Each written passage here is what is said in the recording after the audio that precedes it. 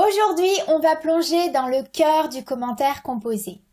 Imagine que ton ordinateur en lame de main et que tu ne reçois plus jamais une seule de mes leçons.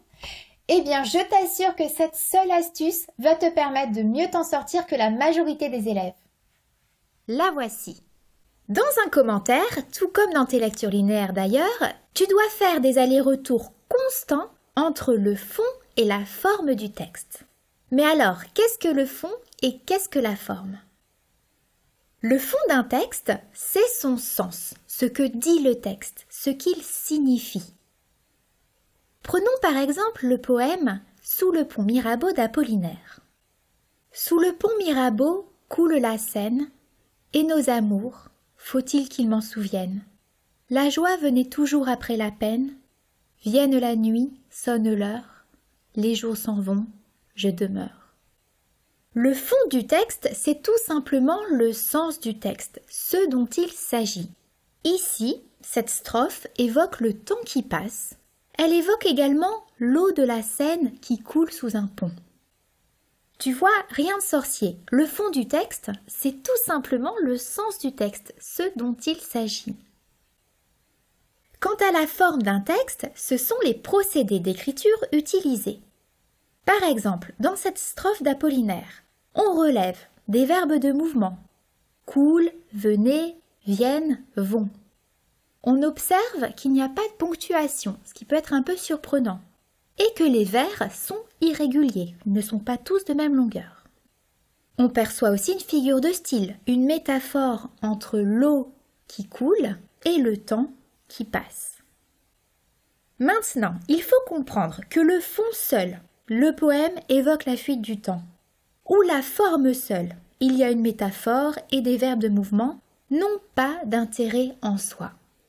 En revanche, si tu mêles le fond et la forme pour montrer que les procédés littéraires sont au service du poème, tu commences à faire une vraie analyse de texte. On voit ça tout de suite en action. Reprenons notre poème d'Apollinaire. Voici le type d'analyse qu'on pourrait faire.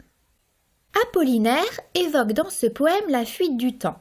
Donc là, j'évoque tout simplement le sens du texte, le fond. Cette fuite du temps est mise en évidence par une métaphore entre le temps, l'heure et l'eau, coule la Seine. Le mouvement de l'eau qui coule et du temps qui s'écoule est traduit par une série de verbes de mouvement. Coule, venez, viennent, vont. L'absence de ponctuation et l'irrégularité des vers crée une fluidité qui contribue à évoquer la fuite du temps. Qu'est-ce que j'ai fait ici? J'ai montré que tous les éléments de forme que l'on avait trouvés, métaphore, verbe de mouvement et absence de ponctuation, sont utilisés par Apollinaire pour évoquer le fond du texte, la fuite du temps. Tu vois, le but d'une analyse est de montrer que le style de l'auteur accompagne et accentue le sens du texte, que la forme du texte est utilisé par l'auteur pour exprimer au mieux son message, c'est-à-dire pour exprimer le fond du texte. C'est cet aller-retour constant entre le fond et la forme que l'on veut voir dans ta copie. Pour réussir à bien analyser un texte, prends conscience de la multitude de choix qui s'offrent à un auteur qui veut faire passer un message ou donner forme à un thème. Imaginons un auteur qui souhaite dénoncer la guerre il pourrait écrire cette phrase. Six mille hommes furent tués par des canons. Mais il ne sera peut-être pas très satisfait. La forme passive furent tués alourdit la phrase, alors que la forme active pourrait mettre l'accent sur la puissance des canons et l'impuissance des hommes. Il pourrait alors réécrire Les canons tuèrent six mille hommes. Pour éveiller notre esprit critique, l'auteur pourrait vouloir introduire un peu d'ironie. Les canons tuèrent à peu près six mille hommes de chaque côté. C'est déjà un peu mieux, mais ce verbe tuer n'est pas très expressif, c'est un verbe très courant. L'auteur pourrait alors écrire Les canons renversèrent à peu près six mille hommes de chaque côté. Alors cette phrase n'est pas de moi. En réalité, il s'agit d'une phrase de Voltaire issue du chapitre 3 de Candide. Et cette dernière phrase, les canons renversèrent à peu près 6000 hommes de chaque côté, est bien plus frappante et efficace que les premiers essais de phrases que l'on a fait. et tu vois que le verbe renverser au lieu du verbe tuer donne l'impression que les hommes ne sont que des soldats de plomb ou des quilles qui se font renverser comme dans un jeu. Quant à l'approximation à peu près, elle a une forte charge ironique, elle rend cette description de la guerre plus ironique, plus mordante. Tu te poses peut-être une question qui est tout à fait légitime, qui est mais l'auteur a-t-il vraiment pensé à tout cela? Eh bien oui, beaucoup plus que tu ne l'imagines. Écrire une œuvre littéraire demande énormément de travail. L'auteur prend de nombreuses notes, rature, réécrit, change l'ordre des phrases, des mots, etc.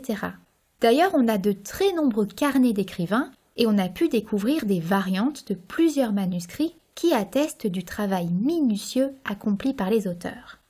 Donc oui, les auteurs ont pensé et travaillé chaque mot. Et ton travail d'analyse littéraire, c'est de prendre conscience de ce travail de l'auteur et de montrer que les procédés littéraires, le vocabulaire, les figures de style, les sonorités, le rythme des phrases, etc., produisent des effets et des significations. Je te conseille maintenant de mettre tout de suite en application ce qu'on vient d'apprendre dans un petit exercice. Prends un texte que tu dois étudier, par exemple un texte que tu présentes à l'oral, et écris un petit paragraphe d'analyse dans lequel tu lis le fond et la forme, exactement comme dans cet exemple sur le poème d'Apollinaire.